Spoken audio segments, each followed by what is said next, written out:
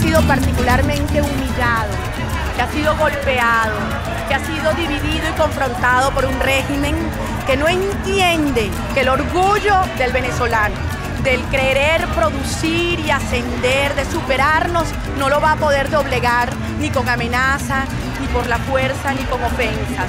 Por más que intenten fragmentar y dividir a los venezolanos, aquí estamos unidos y firmes. Por más que intenten someternos, empobrecernos, hacernos dependientes de un Estado que nos quiere con la mano extendida para darnos o quitarnos, aquí está una Venezuela que quiere surgir, que entiende que necesitamos unas ideas de fuerza superiores para enfrentar un modelo que quiere una Venezuela de rodillas y esclavizada.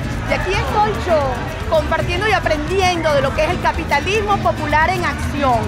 Hombres, mujeres, madres, trabajadores que queremos prosperar, que para salir de la pobreza, para dejar la pobreza atrás, lo que necesitamos es creer en nosotros mismos, en querer ascender con nuestro esfuerzo, donde palabras como productividad, calidad, talento, esfuerzo se convierten en grandes valores y donde tenemos un Estado que permite, que facilita y favorece que ese espíritu emprendedor realmente se concrete. Decirles algo.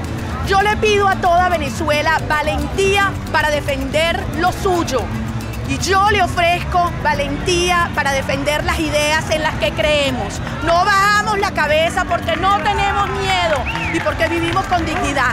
Defendemos lo que creemos y no permitimos que nos atemoricen o que nos chantajeen. Esa es la Venezuela que hoy asume esta transformación histórica. Y el día de mañana muchas generaciones miran para atrás y nosotros demostraremos que habremos cambiado la historia. Generaciones de venezolanos han buscado un modelo de relación Estado-ciudadano donde tengamos libertad e igualdad, donde tengamos prosperidad y justicia, donde tengamos la oportunidad de ir todos para arriba. Pues eso es el capitalismo popular. Todos para arriba, todos con progreso, todos con respeto,